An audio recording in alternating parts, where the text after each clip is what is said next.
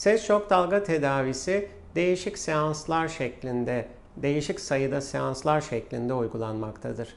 4, 6 veya daha fazla sayıda seans olarak uygulanır. Haftada bir yapılan bu seanslar sonunda peniste kalıcı olarak bir doku yenilenmesi veya yeni damar oluşumu meydana gelir.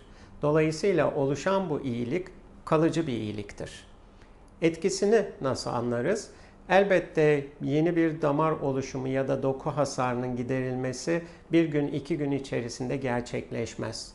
Ortalama bir aydan sonra biz esas olarak e, yarar görüp görmediğini hastanın değerlendirmekteyiz.